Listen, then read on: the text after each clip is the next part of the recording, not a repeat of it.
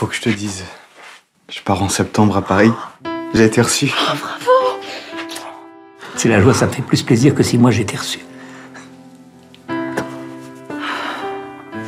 moi? Qu'est-ce que je deviens? Ça change rien. Ce qui préoccupait Luc à cette époque, c'est qu'il n'était pas sûr que l'amour existe. On peut se revoir? Je sais pas. Car ce qu'il avait connu avec Jemila comme ce qu'il avait connu avec Geneviève, Tellement. Il ne pouvait après coup nommer cela l'amour. Vous aimeriez qu'on se marie? Bah oui, bien sûr. hein.